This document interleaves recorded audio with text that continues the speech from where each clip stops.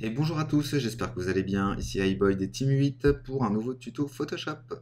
Aujourd'hui, je vais vous apprendre à créer un effet d'art sur vos photos et plus particulièrement sur les portraits. Alors, je ne sais pas si ça s'appelle un effet d'art, c'est moi qui l'ai appelé comme ça, mais le tuto consiste à ôter l'arrière-plan d'une image, euh, le remplacer par une couleur noire, d'assombrir un petit peu le visage et de lui appliquer un éclairage latéral. Donc, pour suivre la vidéo en live, je vais vous demander de euh, télécharger la petite image en dessous de la vidéo YouTube et de l'ouvrir dans Photoshop. Donc avant toute chose, ce qu'on va faire, c'est qu'on va faire un pomme A pour sélectionner l'image, un pomme C pour la copier, un pomme N pour créer un nouveau document, on valide, la taille est bonne, et on fait un pomme V pour la coller. Donc cette image, on va la passer en niveau de grille. Pour ce faire, on va cliquer sur Image, Mode, Niveau de grille. On peut l'aplatir, c'est pas très grave. Et maintenant, on va jouer sur les niveaux afin d'assombrir un petit peu l'image. Pour euh, ouvrir les niveaux, on appuie sur pomme L.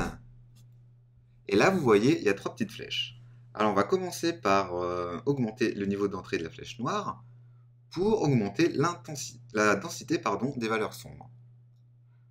On va la mettre à peu près à 70. Maintenant, on va augmenter légèrement euh, le contraste de l'image sans toucher aux valeurs des noirs et des blancs. On va la mettre euh, à peu près à 0,70, voilà. Et on ne va pas toucher à la flèche blanche. Si on l'avait diminué, ça aurait éclairci l'image et les valeurs claires auraient gagné en luminosité. On valide. On refait un pomme A, un pomme C pour copier.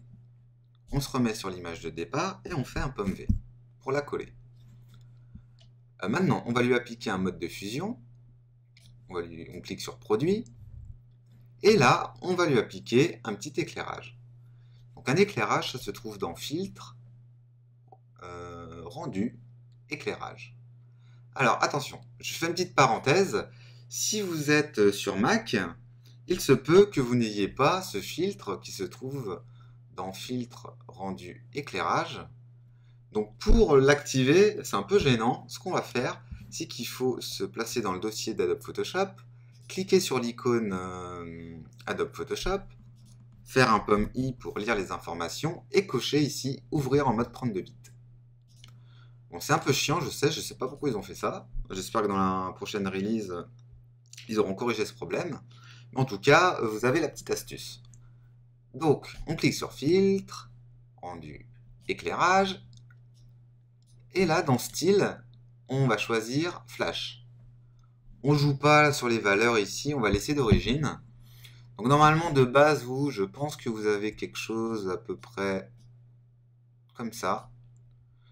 Donc ne pas hésiter à augmenter un peu le diamètre euh, du cercle en cliquant sur une petite poignée ici. On va l'augmenter comme ça. Et on va le déplacer légèrement sur la droite c'est un petit peu trop gros, on va diminuer un peu.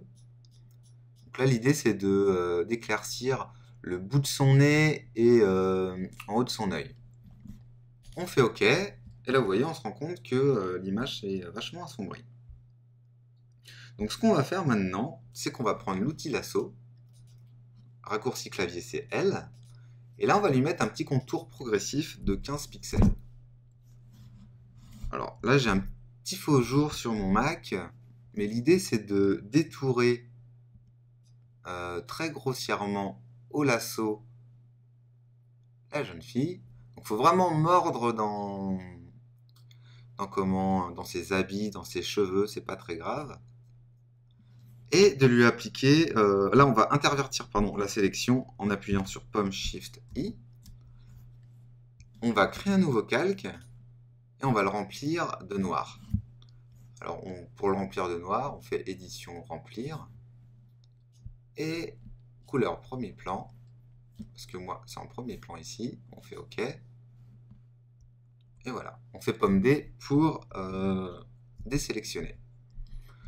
Donc moi j'ai un faux jour, je ne vois pas trop le résultat, mais je pense qu'on n'est pas trop mal. Euh, donc là ce qu'on peut faire, c'est qu'on va se remettre sur le calque 1, et on va jouer euh, là sur la densité des couleurs. Donc on clique dessus, on va baisser un petit peu l'exposition, on va la mettre à, peu près à 15.